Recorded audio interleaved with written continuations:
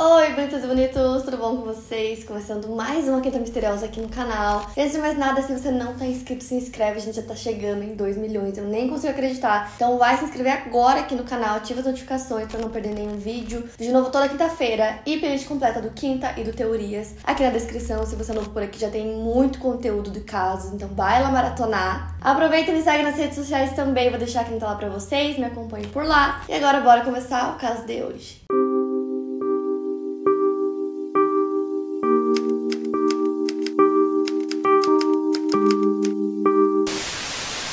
O caso que eu vou contar pra vocês hoje é um caso que eu não sei qual motivo vocês têm me pedido muito, muito, muito ultimamente. É um caso que eu conheço já tem muito tempo, já li muito sobre. É um caso muito, muito doido, um caso enorme, com muita coisa.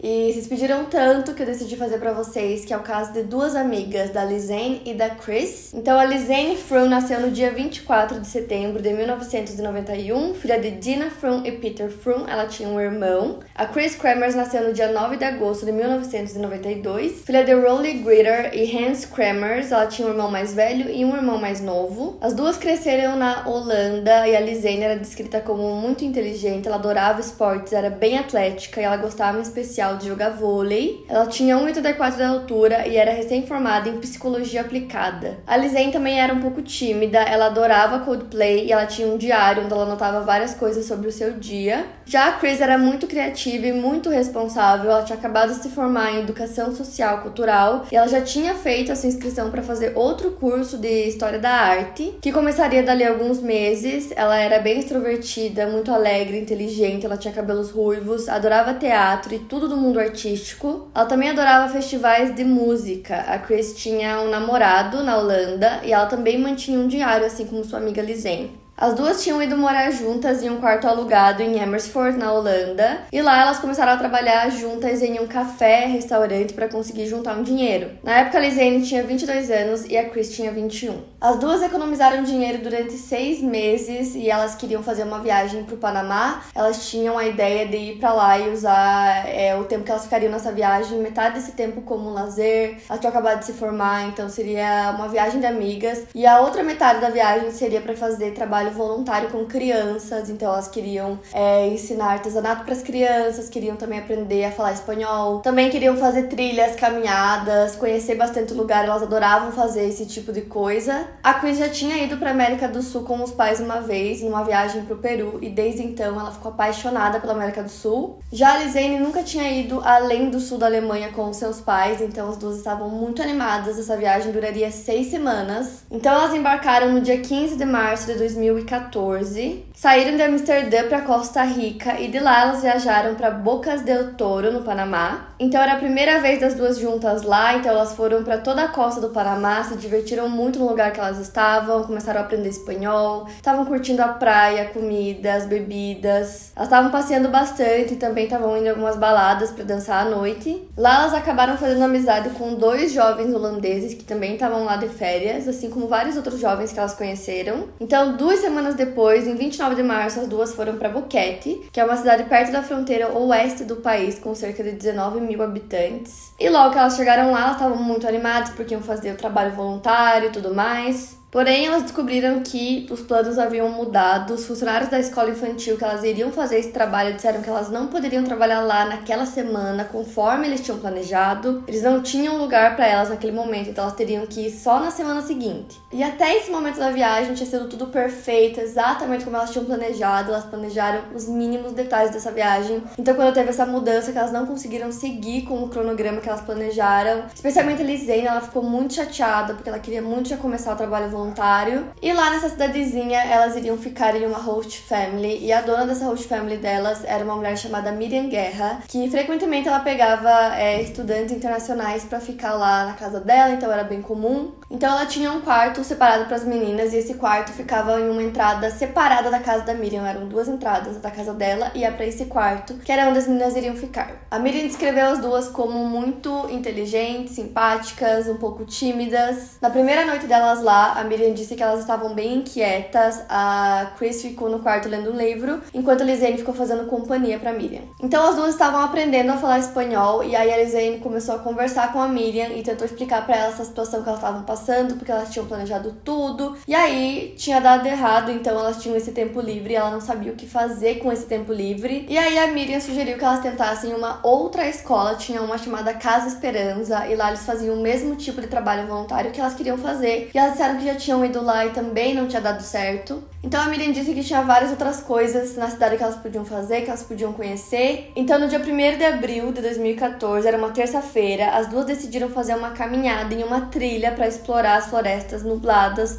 ao redor do ativo vulcão Baru. Era uma trilha bem conhecida pela floresta e pelas cachoeiras que você encontrava pelo caminho, e já que as duas tinham muito tempo livre, decidiram fazer essa trilha. E as duas estavam postando tudo que elas estavam fazendo na viagem no Facebook, então elas postavam várias fotos, contavam quais lugares elas estavam visitando, tava tudo lá, e elas contaram que iriam fazer essa trilha naquele primeiro de abril. Elas também levaram o cachorro da Miriam, que se chama Azul, para fazer a trilha com elas. E naquela manhã a Chris também mandou uma mensagem pro namorado contando que elas iriam fazer essa trilha. Elas também contaram nas redes sociais que elas tiveram um brunch com dois holandeses que elas fizeram uma amizade lá no Panamá. Então, antes de seguir para a trilha, elas se encontraram com eles. Então, elas partiram para a floresta ao longo da trilha pianista por volta das 11 da manhã. Então, elas pegaram um táxi que deixou as duas no começo da trilha e foram. E aí as horas foram passando e as duas não voltavam nunca, começou a escurecer. A Miriam já tava ficando preocupada até que o cachorro dela voltou para casa, o azul, mas ele voltou sozinho, não voltou com as meninas. Então ela começou a achar estranho, ela começou a dar uma procurada pela casa, aos arredores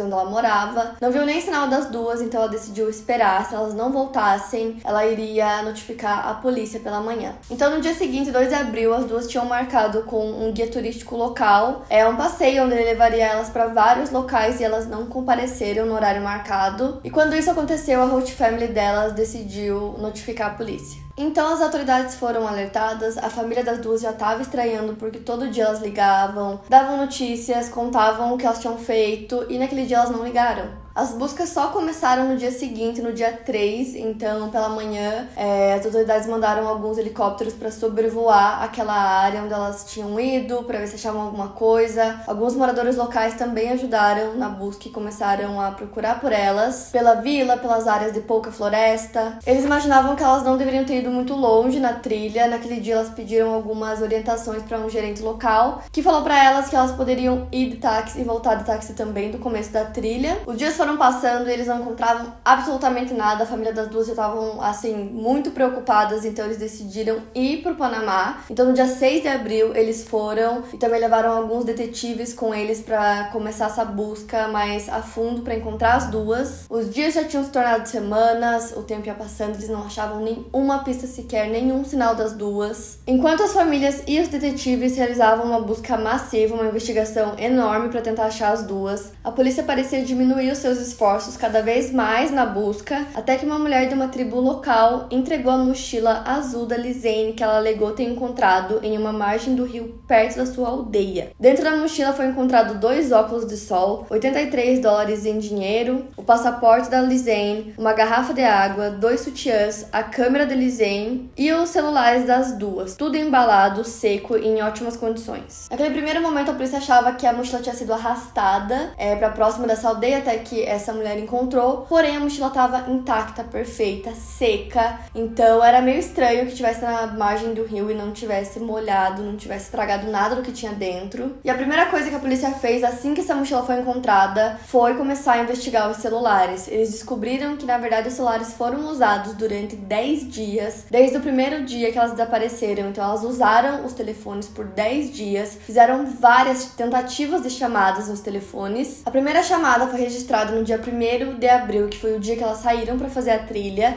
Essa chamada foi às 4h39. Ou seja, ainda era dia, ainda estava claro. Então isso significa que nesse horário elas já estavam precisando de ajuda. Porque todas as chamadas que elas tentaram realizar eram para número de segurança, tipo de emergência. Dez minutos depois, elas fizeram uma segunda tentativa. Elas ligaram para o número 112, que é o número de emergência internacional, e o número de emergência do Panamá, que é o 911. Depois disso, os celulares foram foram desligados e elas ligaram eles novamente 14 horas depois e tentaram novamente ligar pedindo ajuda. Os registros mostravam que elas sempre ligavam e tentavam fazer as chamadas e logo depois desligavam os celulares, provavelmente para poupar a bateria. E elas também sempre alternavam entre um celular e o outro. Então, usando esses registros das ligações que elas tentaram fazer, a polícia começou a tentar traçar uma linha do tempo para entender o que aconteceu durante desde o primeiro momento que elas desapareceram na floresta e começaram a tentar pedir ajuda. Como eu disse, a primeira tentativa que elas fizeram foi algumas horas depois que elas começaram a trilha e provavelmente porque elas estavam em uma floresta muito densa, é, elas não conseguiram completar nenhuma das chamadas. Ao todo foram 77 ligações que elas tentaram fazer pedindo ajuda. Dessas 77, só uma que elas conseguiram e durou dois segundos e depois ou a ligação caiu por conta da área que deveria ser bem ruim ou porque alguém desligou. Essa ligação foi feita no celular da Cris e 36 segundos depois o celular foi desligado. Então essas ligações foram feitas ao longo dos dias, é, foram feitas muitas no primeiro e depois essas tentativas foram diminuindo, até que no dia 6 o celular da Lizane, que era um Samsung, acabou 100% a bateria. Nesse mesmo dia, tentaram desbloquear o celular da Chris várias vezes vezes e sempre digitavam a senha errado, até que conseguiram bloquear o celular. Ou seja, o celular foi ligado naquele dia, no dia 6, mas essa pessoa não conseguiu desbloquear o celular. Lembrando que para fazer é, chamadas de emergência você não precisa desbloquear o celular, então se fosse isso que elas estavam tentando fazer, elas conseguiriam fazer mesmo com o celular bloqueado. E aí essa pessoa não conseguiu desbloquear em nenhum momento o celular e a partir do dia 11 o celular não foi mais ligado. Então era muito estranho que a dona do celular não soubesse a própria senha, a não ser que não fosse a Chris que estivesse tentando colocar a senha, fosse a Lizane, talvez a Lizane não soubesse a senha da amiga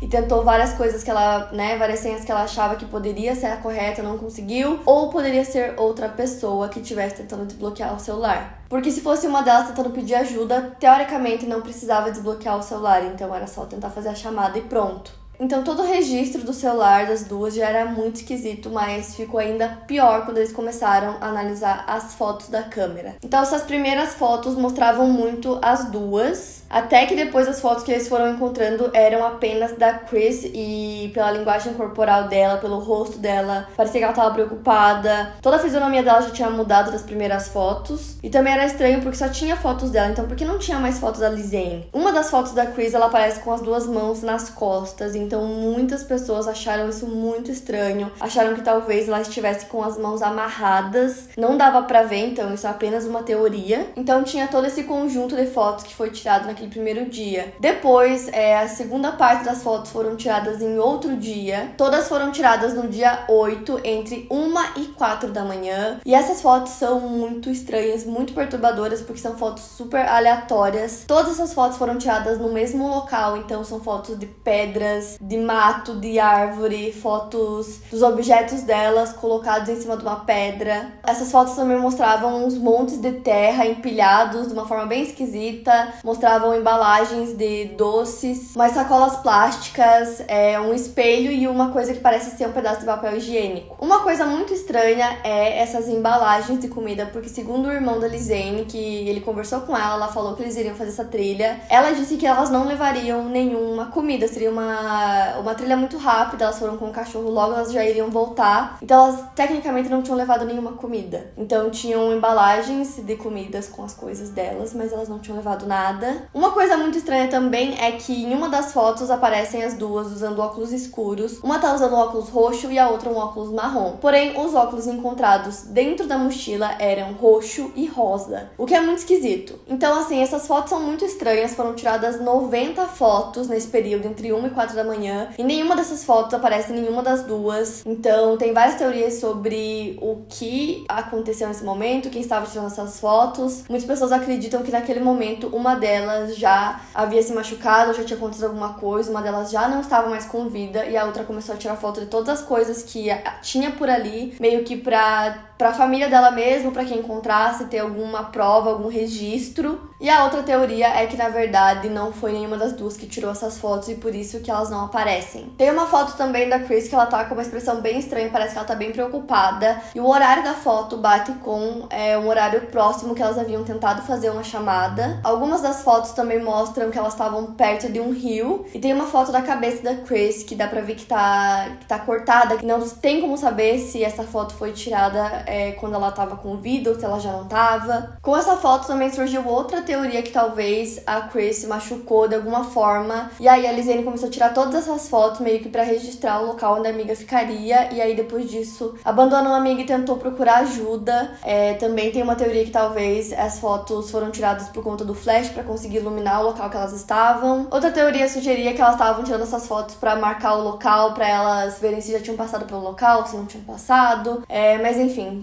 tudo isso são apenas teorias, porque não se sabe é, quem tirou essas fotos, se foram elas ou se foi outra pessoa. Ao todo, desde aquele 1 de abril, que foi o dia que elas saíram para fazer a trilha, foram tiradas 133 fotos na câmera. A primeira foto foi a foto 418. É, câmeras digitais vão numerando as fotos, né, normalmente. Então a primeira foi a 418, e aí, assim, seguindo. E dentro de todas as fotos tinha uma foto que tava faltando, que era a foto 509. Lembrando vocês que as fotos são do dia 1 e do dia 8. Então, quando a câmera foi ligada, eles viram que tinha bastante bateria, mais ou menos metade da bateria da câmera. Então, elas ainda conseguiriam fazer muitas fotos, não tinha nenhum vídeo, era só foto. Então, quando eles perceberam que tinha só uma foto faltando, é, a polícia chamou um time de especialistas para tentar recuperar essa foto do cartão de memória. E segundo esses especialistas, quando a pessoa apaga a foto direto na câmera, é muito fácil de conseguir recuperar, porém eles não conseguiam recuperar essa foto que estava faltando. Segundo eles, a única forma forma de não conseguir recuperar de jeito nenhum seria se o cartão tivesse sido formatado ou se o cartão tivesse sido colocado em um computador e nesse computador essa única foto ou vídeo fosse excluído e depois colocado o cartão de volta na câmera, assim eles não conseguiriam recuperar. Além disso, também, é, depois que as fotos foram divulgadas, muitas pessoas acreditam que essas fotos foram modificadas, que tem Photoshop em algumas e que talvez é, a própria polícia do Panamá esteja tentando é, esconder alguma coisa que a gente não sabe o que é, é, mas muitos especialistas dizem que realmente algumas fotos parecem ter sido modificadas. Outro detalhe que eu acho importante mencionar para vocês é que a Lizane era asmática, então nos dias anteriores ao dia que elas desapareceram, ela tava tossindo muito, ela também tava reclamando de dor de garganta, então era muito estranho que as duas fossem fazer uma trilha naquele local e simplesmente fossem cada vez mais a fundo. Então esse fato da Lizane não estar muito bem, o fato de elas terem ido com o cachorro da host family dela delas. E o fato também delas não terem levado nenhuma comida e não estarem preparadas para fazer uma trilha longa, não fazia sentido nenhum que elas simplesmente fossem cada vez mais a fundo na floresta, a não ser que elas estivessem perdidas. Mas o que faz sentido seria elas fazerem uma pequena trilha e depois logo voltarem, pegarem o táxi e irem para casa. Então, o que parecia era que cada vez mais elas foram mais adentro da floresta, não fazia sentido nenhum. A não ser que tivesse uma terceira pessoa e essa pessoa obrigasse as duas. A Miriam, da Road família delas disse que ela não acreditava que as duas fariam uma caminhada longa naquele dia, que ela achava que seria uma coisa super rápida, logo elas estariam em casa. Quando a polícia encontrou todos esses itens, eles começaram a investigar e eles acharam muitas impressões digitais. Ao todo foram 34 impressões digitais diferentes foram 13 na mochila, 12 nos telefones e na câmera e 6 diferentes no sutiã.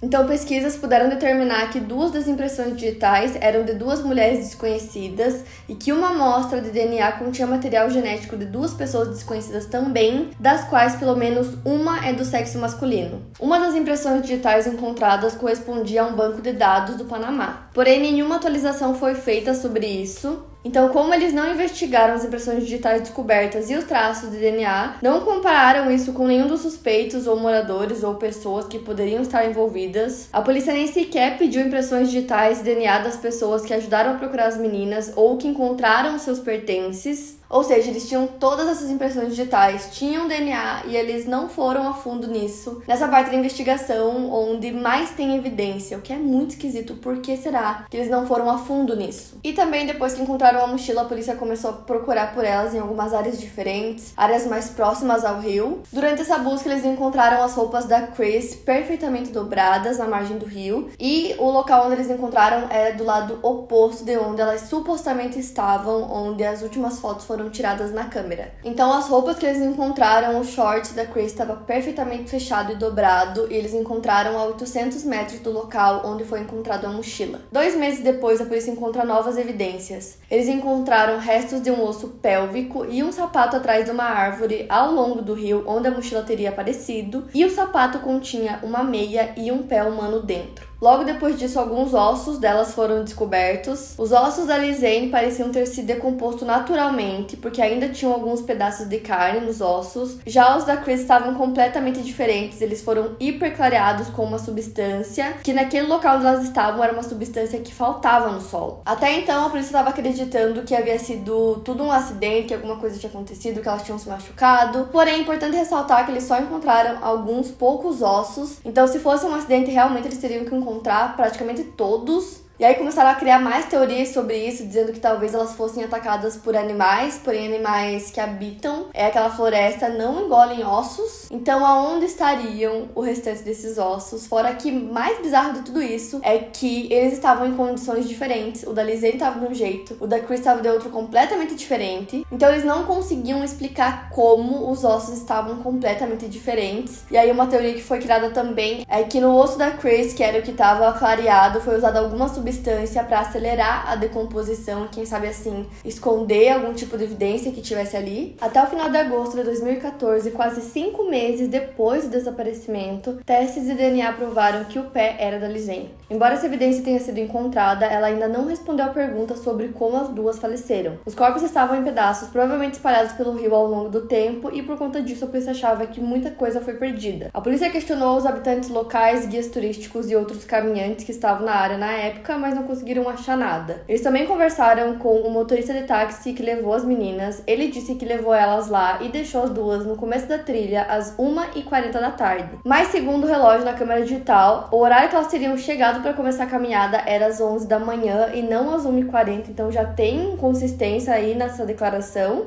Quanto aos dois holandeses que elas viram mais cedo, é... a polícia não divulgou nenhum relatório oficial sobre o que eles descobriram conversando com eles. Muitos acham que, na verdade, as autoridades nem chegaram a investigar completamente a relação das duas com eles. Também conversaram com um homem qual as meninas pediram instruções naquele dia, que inclusive foi uma das últimas pessoas a falar com as duas e ele disse às autoridades que elas estavam sozinhas quando começaram a trilha. Ou seja, não haviam evidências suficientes para determinar qual foi a causa da morte. Então, em março de 2015, pouco menos de um ano após o desaparecimento, os investigadores chegaram a um veredito em que as suas investigações sugeriam que as duas provavelmente sofreram algum tipo de acidente ao longo da trilha. Eles acreditavam que elas haviam se perdido na floresta e Lizen supostamente havia caído uma grande distância, morrendo dentro ou perto do rio. O pé dela apoiaria essa teoria. Especialistas disseram que para quebrar o pé dela, né, o tornozelo daquela forma, só conseguiria se fosse uma altura muito, muito alta,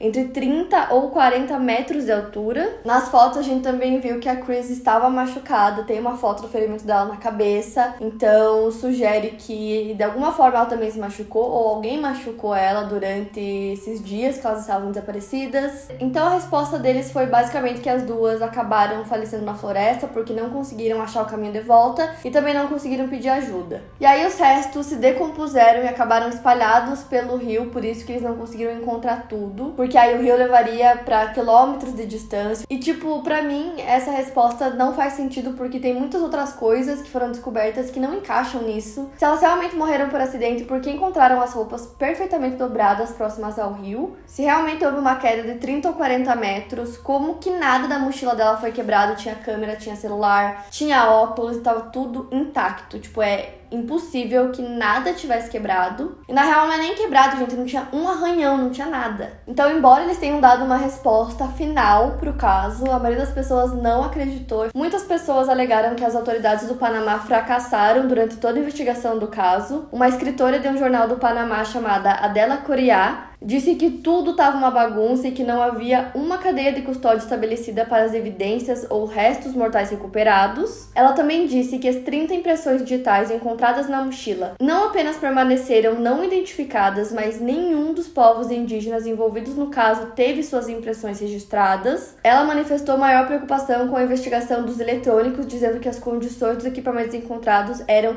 inconsistentes com o local em que foram encontrados, né, que era na beira do rio. Então toda essa questão questão da falta de danos era realmente muito suspeita, mas a polícia não conseguiu investigar e dar uma resposta sobre esse assunto. O advogado da família da Chris também manifestou preocupações com o tratamento do caso. Afinal, as autoridades nunca conduziram nenhum tipo de investigação forense na cena do crime. As evidências e suas fontes permaneceram completamente não verificadas ou não confirmadas. Além de todos esses fatores, ainda restam alguns restos das mulheres, possivelmente revelando uma causa mais definitiva da morte. As autoridades foram completamente criticadas devido ao fato de terem lidado mal com tantas evidências, porque realmente eram muitas evidências para investigar. E aí as pessoas começaram a levantar várias perguntas é, que simplesmente não batiam com essa resposta que eles deram pro caso. A mochila, as roupas, é, o tênis, todas as evidências que são super fortes pro caso foram encontradas na beira do rio próximo a uma aldeia. Por que, que eles não interrogaram, pegaram impressões digitais, DNA das pessoas da aldeia para ver se alguma delas estava envolvida? As pessoas também se perguntam muito por que do governo do Panamá é, não querer tocar no assunto nunca, eles falam pouquíssimo sobre isso. Muitos dizem que eles estão intencionalmente em silêncio e isso levanta dúvidas do porquê que eles não querem falar sobre o assunto. E a resposta mais óbvia para essa questão é que provavelmente porque o Panamá é um local é, de turismo, que as pessoas vão muito para lá, então a ideia de ser um local perigoso com certeza não é algo que o governo quer mostrar para as pessoas ou dar essa ideia para as pessoas. Relatórios vazados da polícia sugeriam também que o que aconteceu com as duas pode ter acontecido com essas outras pessoas. Após uma investigação de 18 meses, o relatório dizia que as evidências apontavam para homicídio. Embora as autoridades possam reabrir esse caso a qualquer momento, considerando todos esses anos que já passaram, ninguém pode explicar realmente o que aconteceu com Chris e com Lizen nas profundezas das selvas do Panamá. Então, assim, afinal, o que aconteceu com as duas? Durante o caso, eu fui contando para vocês várias teorias que foram criadas, mas tem as teorias principais. Então, a primeira teoria, que é justamente a resposta que eles deram, é que a morte foi acidental. Essa foi uma resposta dada pela polícia na Holanda. Elas sofreram um acidente e simplesmente não conseguiram voltar. A segunda teoria é que elas foram assassinadas, e assim, é pela falta de ossos e também a falta de marcas nos ossos. Então, falaram sobre animais, essas coisas, não tinha marca nenhuma de animal. E nos poucos que foram encontrados, alguns, como eu disse para vocês, foram clareados. Então pode ter sido que alguém tenha colocado alguma substância ali para acelerar a decomposição, algo que era muito comum em um cartel da região para que não conseguissem identificar os ossos, né? Para conseguir identificar quem era a vítima. Então essa também é uma teoria que elas foram mortas por um cartel. A terceira teoria também já falei para vocês, que é que elas poderiam ter sido mortas por um serial killer. De 2009 a 2017, mais 24 pessoas desapareceram naquela mesma área. Todos turistas, outras 12 pessoas desapareceram na área e não foram encontradas assim como elas. Algumas evidências que reforçam essa teoria é o caso da mochila, por exemplo. A mochila não estava lá o tempo todo, porque senão eles já teriam encontrado, tanto que a mulher que encontrou disse para a polícia que no dia anterior ela foi naquele mesmo local e não tinha nada, e ela só achou a mochila no dia seguinte. Ou seja, a mochila foi colocada lá. Na maioria das vezes, os serial killers não se importam com os pertences das pessoas, eles não roubam nada, eles não querem ficar com nada. Então isso explicaria o porquê que foi devolvido tudo, né? Todos os itens que estavam na mochila delas. E também eu acho que esse é um dos das teorias mais fortes por conta de coisas que a gente não consegue explicar, tipo as fotos, aquelas 90 fotos que foram tiradas de madrugada, é, o fato de não ter encontrado o restante dos corpos, enfim, são muitas coisas, esse caso é gigantesco e tem essas três principais teorias, além de todas as outras que eu já citei no meio do vídeo. A maioria das pessoas não acreditam na resposta que foi dada pelo governo da Holanda, então eles simplesmente não acreditam. Eu sou uma dessas pessoas, eu não acredito que foi um acidente, porque não faz sentido. Talvez não tenham conseguido realmente encontrar evidências suficientes, talvez a investigação não foi feita da maneira correta, já que tinham muitas evidências. A maioria das pessoas não acreditam nisso e seguem até hoje tentando desvendar o que realmente aconteceu com aquelas duas. Eu vou deixar um link para vocês aqui na descrição que tem muita, muita, muita, muita informação sobre o caso. Claro que eu tento, né, pegar as coisas mais importantes e trazer para vocês, é, mas nesse link vocês vão ver, por exemplo, detalhadamente todas as fotos, detalhadamente os horários que elas tentaram fazer as ligações, é, os locais no mapa, tem